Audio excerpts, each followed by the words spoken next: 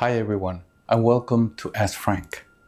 Today I'm going to answer a question from Todd, who asked me this kind of complex question, uh, and it goes as follows Frank, do we get to choose when we come back if we come back? Do we have to come back?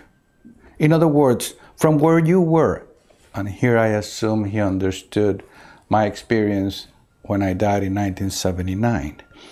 Uh, did you make a conscious choice to come back? Was there an option? Did it seem there was an option, or did it happen that way? Well, Todd, in true honesty, I cannot tell you if I chose to come back or not. What I do know is that we are, so we do exist. The coming back was something that it happened in my particular case. And in my particular case, I can see uh, how it is evolving.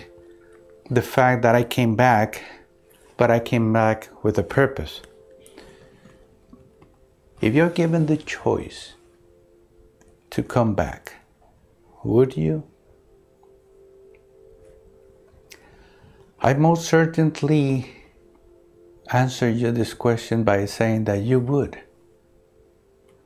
Because if you're asked, if you're ever asked to choose if you were to come back or not, most likely, most certainly, and I'll tell you why, you would choose to come back. So if it was a choosing or not, I don't know. But I do know that we do come back, either because we choose or by decree. For there is a law of cause and effect that we can see it every day. What goes around comes around. How many times have you experienced that in your life? When something happens and you know that there's going to be an unfolding behind it sooner or later. You can see it every day. It's just that we don't pay attention to it.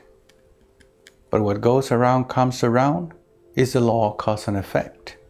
So if we choose, if, if we choose to come back, because we do have an opportunity, like in my case, my physical body was all messed up, but I still had a chance. And when I had a chance, if I was given that chance, would I take it? I did. I took it. And here I am. To let you know that yes, there is a second chance. If you're asked, you're going to say yes. Or if you have to come back because of the law, unfolding law of cause and effect, you will too. So be content you're doing good and you're going to do better as long as you want to make it better. I hope I answered that question.